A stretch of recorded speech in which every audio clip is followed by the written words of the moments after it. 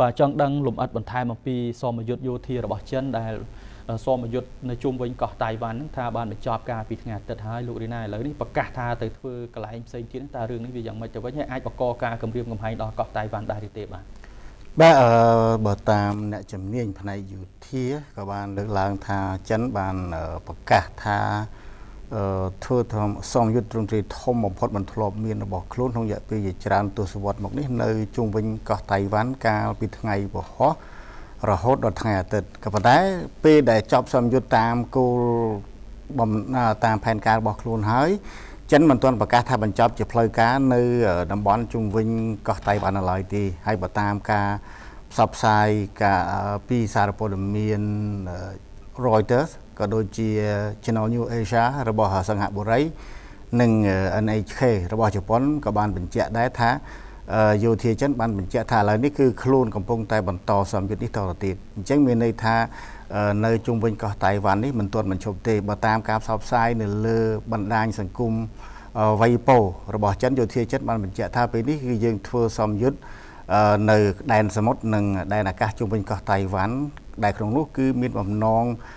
វាយប្រហារប្រឆាំងនឹងនាវាមួយទឹកនិងវាយប្រហារពីលើអាកាសបន្តទៀតតែមិនទាន់បញ្ជាក់ថានឹងត្រូវបញ្ចប់នៅថ្ងៃណាទេដូច្នេះសូមបីតែកាលវិភាគដែលកំណត់ថាពីថ្ងៃពហុមកដល់ថ្ងៃអាទិត្យហ្នឹងហើយថ្ងៃច័ន្ទនេះគឺបានកម្រើកសកម្មភាពឡើងវិញមានន័យថាបន្តសមយុទ្ធនេះទៀតដែលធ្វើឲ្យក្រុមអ្នកជំនាញផ្នែកយោធាបារម្ភថាស្របពេលដែលប្រទេសចិនបានប្រកាសលុបចោលនៅខ្សែ ទូរស័ព្ទឬក៏បណ្ដាញទំនាក់ទំនង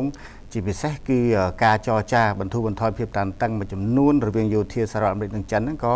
ត្រូវកាត់ផ្ដាច់ដែរចិនអះអាងថាដោយសារតែរឿងនេះគឺសហរដ្ឋអាមេរិកជាអ្នកបង្កឡើងទេអញ្ចឹងការទំនាក់ទំនងណាមួយ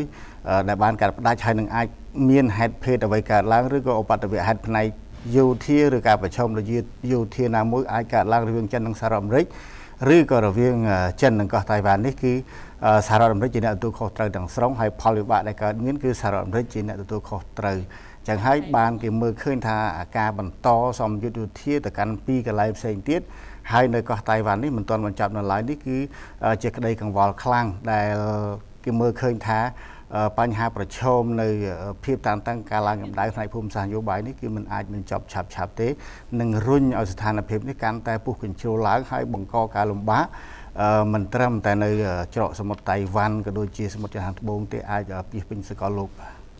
បន្ទាប់ពីបានទទួលរងនៅការស្រោចទាំងពាក្យសម្ដីតាមផ្លូវការទូតពីខាងប្រទេសចិននិងតាមរយៈសកម្មភាពសមយុទ្ធយោធាជាក់ស្ដែងទាំងតៃវ៉ាន់និងសហរដ្ឋអាមេរិកបានឆ្លើយតបយ៉ាងម៉េចខ្លះត្រឹមពេលនេះបាទកាលពីថ្ងៃអាទិត្យកន្លងមកនេះគឺខាងអាជ្ញាធរការពីជាតិរបស់កោះតៃវ៉ាន់ បានបញ្ជាក់ថាខ្លួនគឺបានបញ្ជូននាវាចម្បាំងក៏យន្តហោះចម្បាំងដែរទៅកាន់ដែនអាកាសនិងដែនទឹករបស់ខ្លួនដើម្បីការការពារខ្លួនហើយក៏នឹងក្នុងករណីឆ្លើយតបដល់សមស្របឬក៏ប្រតិកម្មដោយសមស្របទៅនឹងអ្វីដែលកើតមានតែសហរដ្ឋអាមេរិកបានថ្កោលទោសចំពោះ